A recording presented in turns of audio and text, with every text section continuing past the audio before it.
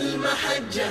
لا حجة لك أيها الإنسان فلقد أتاك من السماء بيان. ومحجة كالشمس يسطع نورها أولا يراها العقل والوجدان. يطمئن القلب في إيمانه. لو ساغ ما يلقي به الشيطان نبع العقيدة لا يكدر صفوه. شرك ولا بدع ولا بهتان.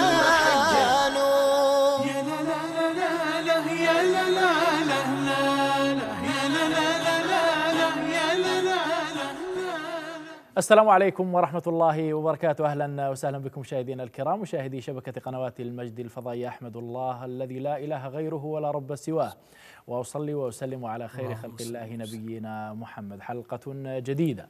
من برنامجكم محجة أسعد فيها بالترحاب بصاحب الفضيلة ضيف هذا البرنامج الدائم الأستاذ الدكتور وليد بن عثمان الرشودي أستاذ الحديث وعلومه.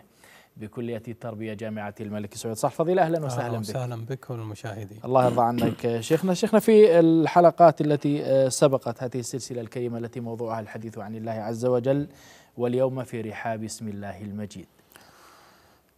بسم الله الرحمن الرحيم. الحمد لله الحميد المجيد. وأشهد أن لا إله إلا الله الغفور الودود. وأشهد أن محمدا عبده ورسوله. المبعوث رحمة للعالمين صلى الله عليه وعلى آله وأصحابه وإخوانه وأزواجه. ومن سار على نهجه واقتفى أثره إلى يوم الدين أما بعد. فأحمد إليكم الله الذي لا إله إلا هو. وسع كل شيء رحمة وعلما. أحمده جل وعلا أشكره ولا أكفره وأسأله تعالى المزيد من فضله والثبات على دينه لي ولكم. ثم أشكر هذه القناة الرائدة الماجدة زاد الله مجدها وعلوها. يا رب. ممثلة في رئيس مجلس إدارتها صاحب الفضيلة الشيخ الدكتور حمد ومن قبله والده المفضال الشيخ محمد متعه الله بالصحة والعافية وكافة الإخوة المشاهدين وكافة العاملين في هذه القناة زادهم الله توفيقا وسدادا.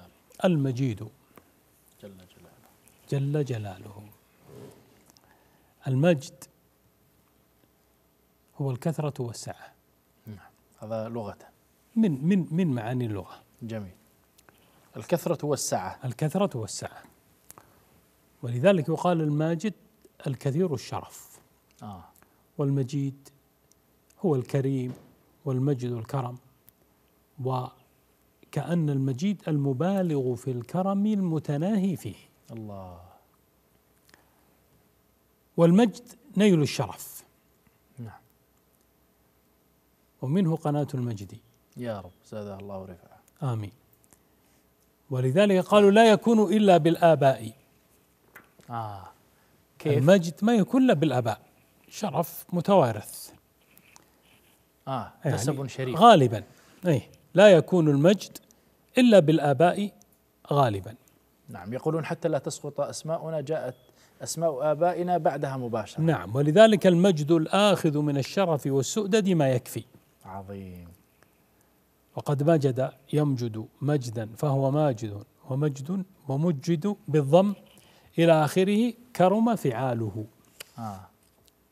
كرم فعاله. قالوا والمجد والمجد والمجد. كر- كرم فعاله. وأظن إن شاء الله تعالى أنه اقتبس هذا الاسم لهذه القناة لكريم فعالها. يا رب. المؤسسين ربما كانت هذه رؤيتهم إن شاء الله. يا رب. ولذلك قال الراغب المجد السعة في الكرم والجلال. والمجيد فعيل من الماجد كالعليم من العالم والقدير من القادر. ولذلك يتحصل عندنا معاني. وهي؟ أن معنى المجد أنه الشرف التام الكامل. حلو. هذا واحد. والسعة والكثرة. اثنين. تمام؟ وهذا كله وهو ال- الثالث عظيم الكر- الكرم. كلها متحققة في ربي جل وعلا. نعم. ممكن نعيدها بس شيخنا الأول؟ الشرف التام الكامل نعم. والسعة والكثرة والكرم المطلق. نعم. ورد هذا الاسم العظيم وكل أسماء ربي عظيمة في القرآن مرتين.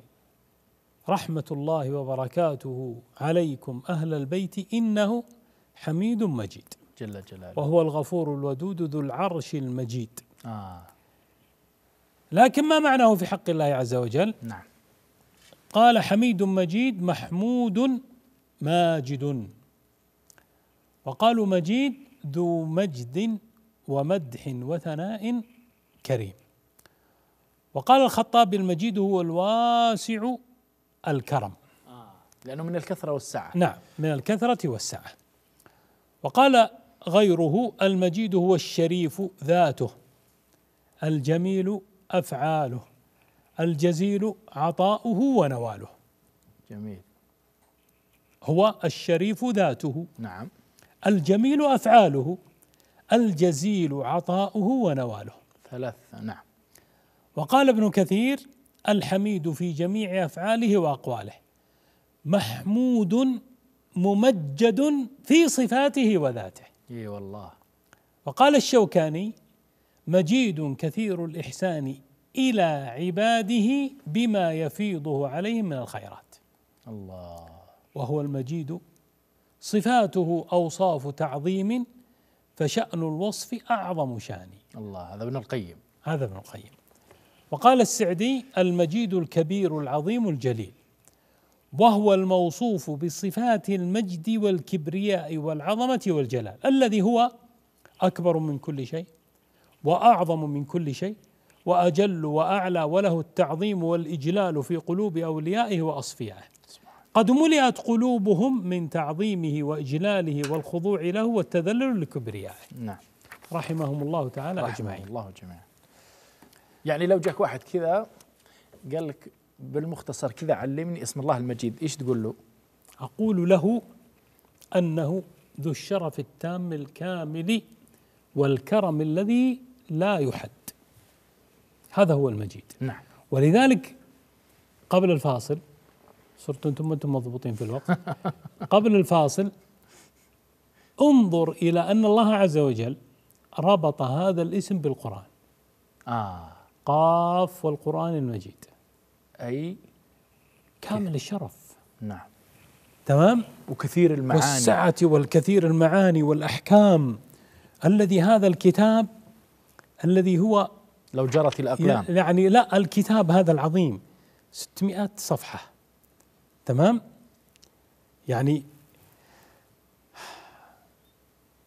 أقرأ قبل يومين في في تعريف برجل ما. هذا الرجل درس القانون في بلاد الغرب. طيب. القانون لا يعتمد لا على كتب سماوية ولا على تشريعات إلهية وإنما هو من وضع البشر للبشر فلما قرأ كتب في القانون حتى أصبح مستشار عند أعظم رئيس في ذلك الزمان. فأراد الله به خيرا فقرأ سورة من القرآن. نسيتها الآن بالضبط. لكنها من الأحكام ذا. لا لا ليست متعلقة بالأحكام. آه. من من آخر جزء عما. سبحان الله. فشده ما فيها من الآيات والحكمة. فأخذ يقرأ حتى علم أن هذا القرآن لا يأتيه الباطل من أسلم. آه. فكان في جلسة مع قانوني يهودي. فقال له ما الذي حملك يعني؟ وتعرف و... قال الآن قانون المواريث وتوزعة التركة عندنا في البلد الفلاني. في كم مجلدة؟ قال في أكثر من ستين مجلدة. قالوا تنتهي؟ قال لا ما تنتهي. قال طيب وإذا أتيتك بكتاب يختصر لك كل هذا بصفحتين. يفض النزاع. قال ما يمكن. فأعطاه قسمة التركات في سورة النساء. عظيم. فجن جنونه. قال مستحيل أن هذا الإحكام وهذه الدقة أن تكون من صنع قانوني أو بشري في الدنيا كلها. الله أكبر. قاف والقرآن المجيد. آه. الخلاصة أنه قاف والقرآن المجيد. هذه هي الخلاصة. إي والله. فهنا الآن إذا كان كلام الله بهذا المجد فالله تعالى له المجد كله. إي والله. كله. فالقرآن كلامه جل وعلا. منه فكيف بدأ وإليه. سبحانه؟ فكلامه منه جل وعلا ولذلك جزء مما يمجد به ربي جل وعلا هذا كتابه. الكتاب العظيم. فكمال الشرف التام والسعة في كافة الأمور هذا فقط في كتاب الله عز وجل ما فيه من المجد والسعة والكثرة. فكيف بكافة أفعال ربي جل وعلا؟ الله أكبر. كيف تكون السعة والكثرة؟ الله أكبر. كيف يكون يعني ربي يدبر هذه الأمور ولا يليق أن أقول كيف يدير هذه الأمور؟ وإنما يدبر لأن الله عز وجل وصف نفسه بالتدبير. يدبر الأمر. آه. تمام؟ فلذلك كيف يدبر الله عز وجل هذا الأمر؟ فمن هذا المكان يكون المجد لله عز وجل الشرف التام الكامل. الشرف كيف؟ أنه يدبر هذا الأمر كله ولا خلل ولا نقص ولا ولا. وكس ولا يظلم ربك أحدا.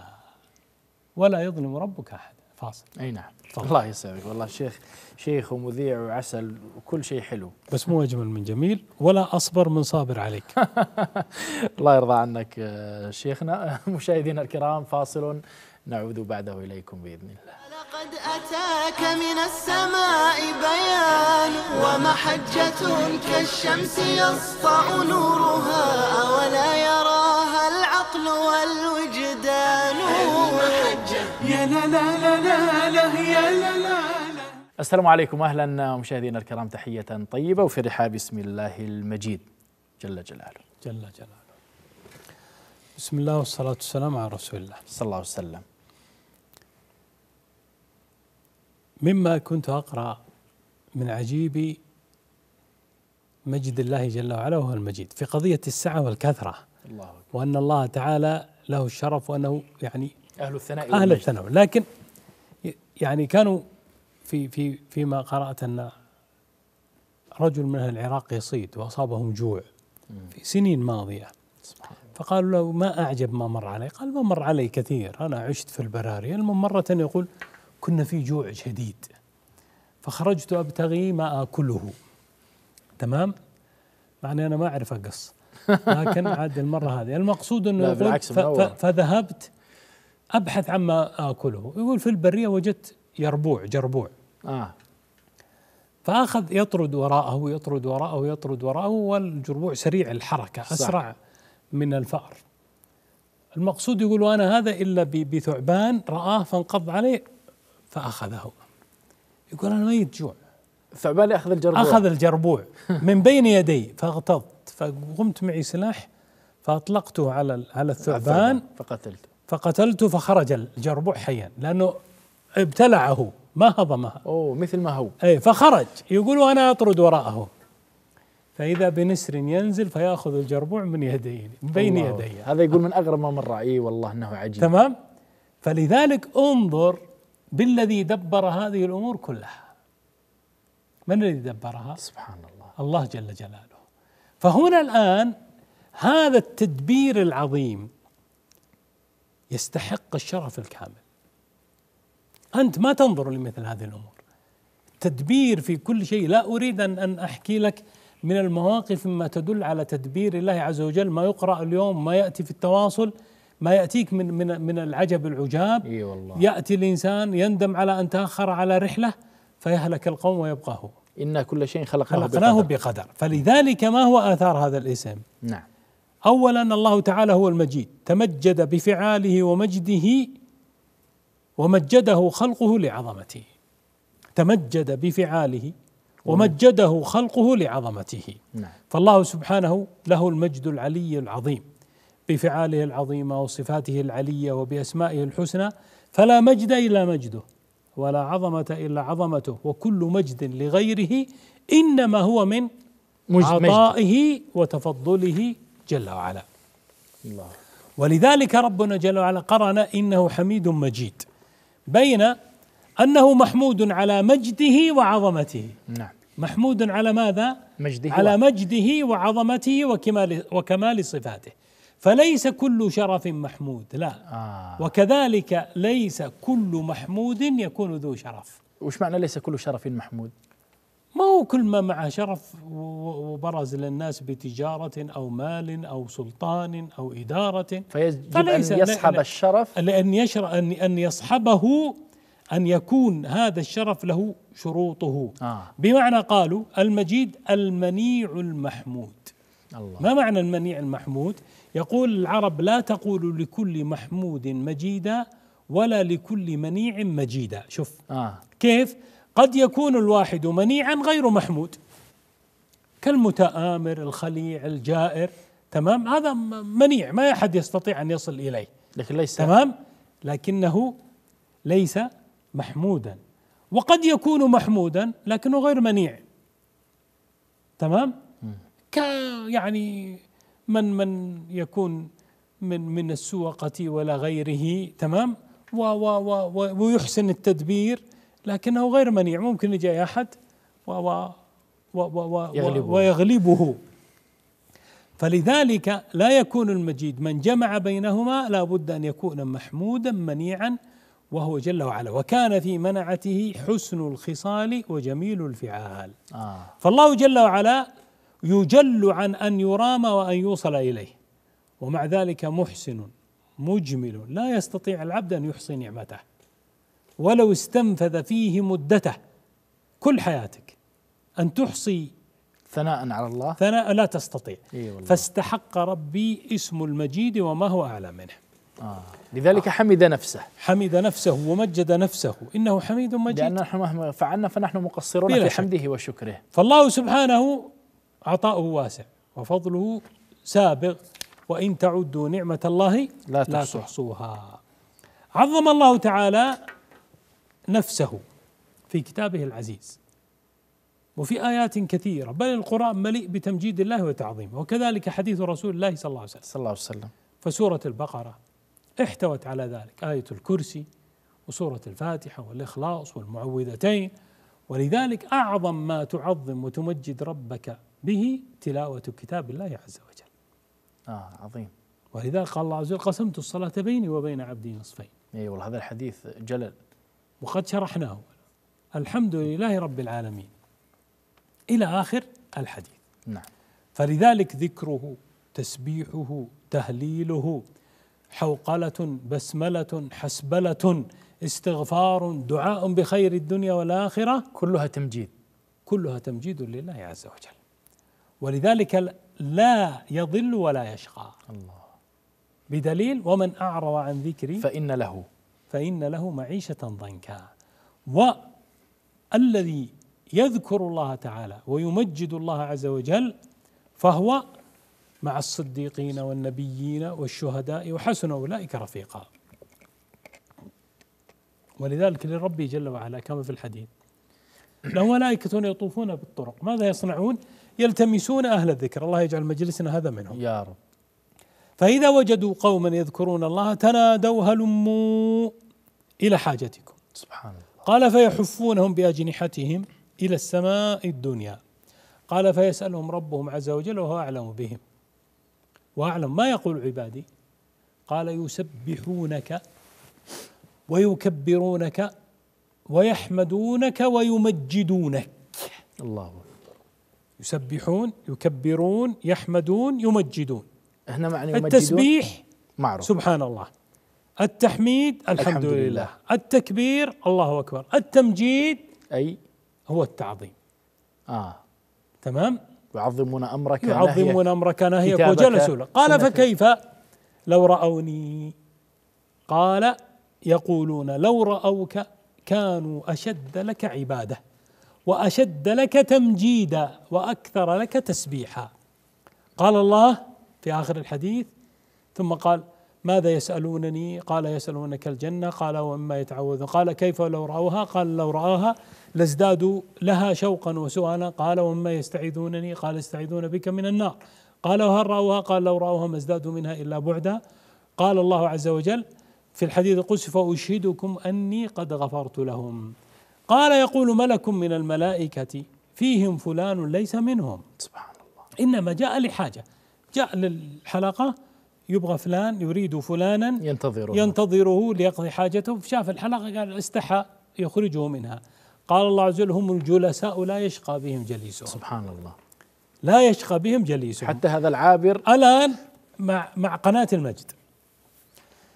قناة المجد أحسب إن شاء الله تعالى أن أعظم وأغلب برامجها من مجالس الذكر. يا رب. فالآن جلست العائلة في هذا المجلس. جيد؟ وهم يبتغون العلم النافع والفائدة والعمل الصالح. وهم يريدون بذلك تعظيم الله وتمجيده فيسمعون مما يثنى به على الله فيثنون على الله. فيسمعون مما يصلى به على النبي صلى الله عليه وسلم فيصلون على النبي صلى الله عليه وسلم. فيسمعون من الأحكام ما تفيدهم فيستفيدون واحد جاء والعائلة أبوه وأمه جالسين هو جوعان ينتظر العشاء. جلس. فجلس معهم هم القوم. لا يشقى بهم جليسهم. عظيم هذا المعنى. لا يشقى بهم جليسهم. فلذلك يا أخي أنت اليوم مع هذه القناة المباركة زادها الله توفيقا وسدادا تمام؟ أنت على خير. أنت على خير. لا تحرم نفسك. لا تحرم نفسك في جلوسك مع هذه. أنا أريد أن أختم أنا أعرف تمام؟ أن من أهم الأمور أن الله تعالى كما ذكرت لك هو يمجد القرآن. قال قاف القرآن المجيد. بل هو قرآن مجيد في لوح محفوظ. مجيد قرآن كريم فالقرآن مجيد أي شريف. عظمة هذا الكتاب أن الله يرفع به من عمل به واتخذه دينا ومنهجا. ولذلك في الحديث إن الله يرفع بهذا الكتاب أقواما ويضع آخرين. أختم. شوف يا أخي من أهم الأمور في هذا الباب الكافرون لا يريدون من أمة الإسلام أن يقرأوا القرآن. وقال الذين كفروا لا تسمعوا لهذا القرآن والغوا فيه لعلكم تغلبون. يعلم أنهم لن يغلبون. حتى لو لو غلبوا في فترة من الفترات. ولذلك يرون أن مصدر نصر هذه الأمة بهذا القرآن. ويعلمونه. هذا أمر. الأمر الثاني في الآية الأخرى قال الله عز وجل ومنهم من يستمع إليك. حتى إذا خرجوا من عندك قالوا للذين أوتوا العلم ماذا قال آنفا آه. ماذا قال آنفا. آنفا قالوا قالوا آه، من عندك قالوا الذين أوتوا العلم ماذا قال آنفا أولئك الذين طبع الله على قلوبهم واتبعوا أهواءهم ما المفاد ما المستفاد من هذا؟ وهو ما أختم به. اسمع يا أخي. هنا نام فائدة عظيمة. أن أهل النفاق في عهد النبي صلى الله عليه وسلم لا يروون الحديث. آه. ماذا قال آنفا؟ ما يستطيعون يحفظون. فلذلك رواة حديث النبي صلى الله عليه وسلم قد زكاهم الله بهذا. أحسن لأنهم ضبطوه فنقلوه. فأي واحد يورد عليك شبهة يقول لك أبو هريرة بن مسعود كل هؤلاء اصطفاهم الله أنقياء. لأنهم سمعوا فحفظوا ووعوا. أما هؤلاء المنافقون لم يستطيعون يرجعون إليهم. قالوا الذين أوتوا العلم أبو هريرة وأبو بكر وعمر وعثمان وعلي وهؤلاء السادة الكبار ماذا قال نافع آنفا قالوا قالوا الحق. لأن النبي صلى الله عليه وسلم قالوا ماذا قال نافع فلذلك لا يمكن أن يحفظون. فاطمئن لسنة نبيك صلى الله عليه وسلم. الله يرضى عنك. شيخنا حلقت بنا كثيرا في هذه الحلقة. مع اسم الله المجيد كذلك كان حديث عن قناة المجد وشهادة تعتز بها وفي هذه الفائدة الجميلة قلادة من ذهب وألماس نختم بها هذا اللقاء. شكرا صاحب الفضيلة الله يرضى عنك. الشكر كذلك موصول لكم أنتم مشاهدينا الكرام. بعد شكر الله عز وجل كنا في رحاب اسم الله المجيد. وأمس واليوم وغدا ودائما وأبدا يبقى التوحيد هو سفينة نوح ومن مات عليه نجا. أطيب المنى والسلام عليكم ورحمة الله وبركاته. لا حجة لك أيها الإنسان فلقد أتاك من السماء بيان. ومحجة كالشمس يسطع نورها أولا يراها العقل والوجدان. يطمئن القلب في إيمانه. لو ساغ ما يلقي به الشيطان نبع العقيدة لا يكدر صفوه. شرك ولا بدع ولا بهتان.